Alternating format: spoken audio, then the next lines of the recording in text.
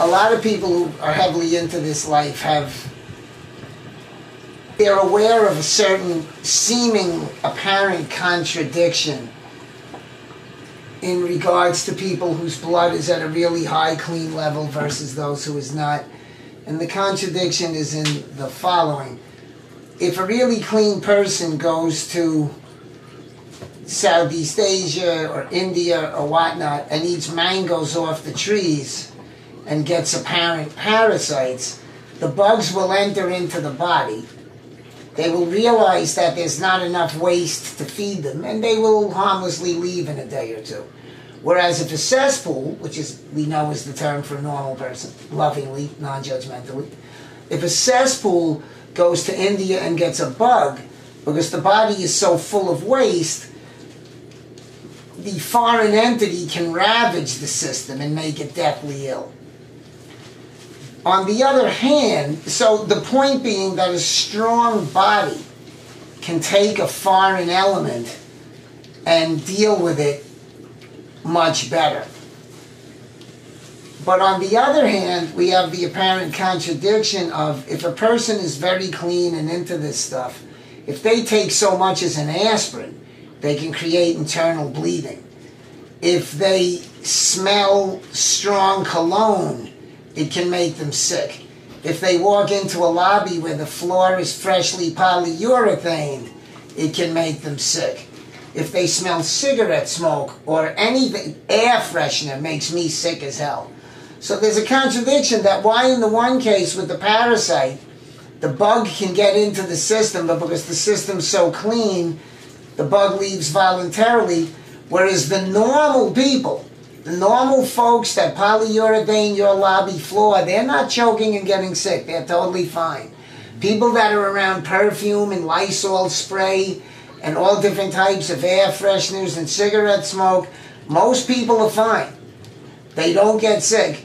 Well, the contradiction isn't a contradiction. The answer is that since the chemicals in question, polyurethane, Ajax, the aroma from perfume, are fake, they're synthetic, they're artificial, they're not real, the mucus lining that the normal person has built up in his or her system, which is so thick and lined from years of bad eating, the mucus lining in that particular case, because the chemical is foreign and artificial, acts as an ally to the individual because it catches the chemical before it gets into the body. So they can sit around polyurethaning a floor and sniffing perfume and cigarette smoke and be fit as a fiddle because it's not really getting into their soft tissue. But for somebody who lives the life, the soft tissue is exposed, it's open. So when the chemical gets taken in, the person feels like they're going to die. That's a different scenario than a natural bacteria or parasite entering the body, which is a natural occurrence. A clean body is built to get rid of it because it can't feed. The parasite can't feed in a clean body.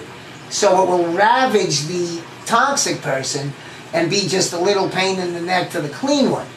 But cigarette smoke and chemical smell will ravage the clean person because there's not enough of a mucus lining to catch the toxicity. And the irony of that is, turning the back, that it really shows a symmetry in nature.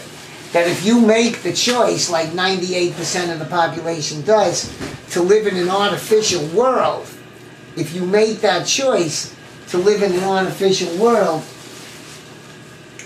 then the artificial things in the world will not harm you because you're part of that untruth. You're part of that artificiality. So your body almost doesn't recognize the harm of it, even though in, in fact it still is harming you.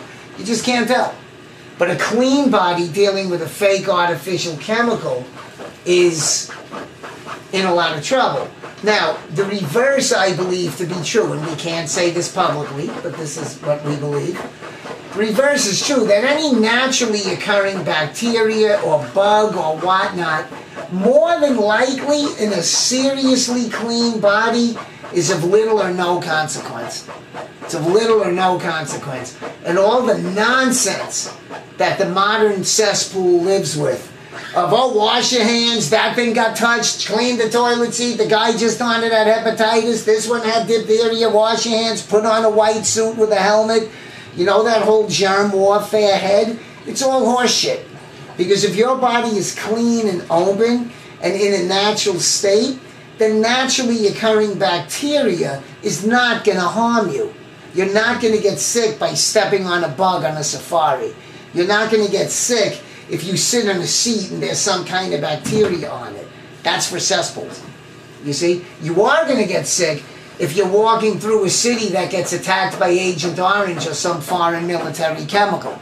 You'll get you'll feel worse than the normal person because you don't have a mucus lining.